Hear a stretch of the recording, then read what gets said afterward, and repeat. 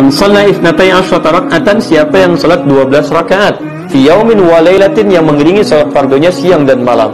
Arba'an qabla dhuhri, 4 rakaat sebelum zuhur, sebelum zuhur. Baik.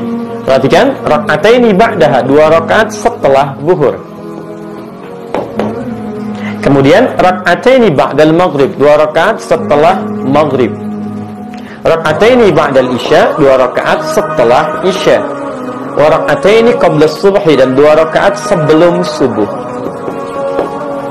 2 4 6 8 tambah 4 12. Jumlahnya 12 rakaat. Siapa yang konsisten mengerjakan ini selama hidupnya, Allah sebelum dia wafat, terus dia kerjakan sampai meninggalnya, kata Nabi, bunyalahu bihinna baitun fil jannah. Akan dibalas oleh Allah kerja kerasnya ini dengan dibangunkan satu rumah untuknya di surga.